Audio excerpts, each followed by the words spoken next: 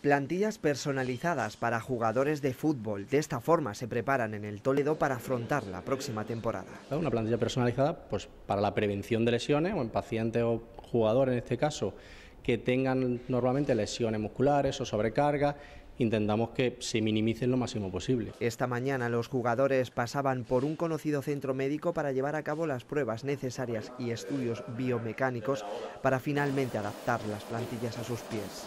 Yo tenía un problema en la cadera, que tengo una pierna más alta que la otra, muy poquito, pero sí que, sí que corrige la posición del apoyo y yo creo que es una cosa que todo el mundo debería de, de usar. Este año como novedad se han escaneado las tibias de los jugadores para fabricar espinilleras con un material multicapa que incluye fibra de carbono.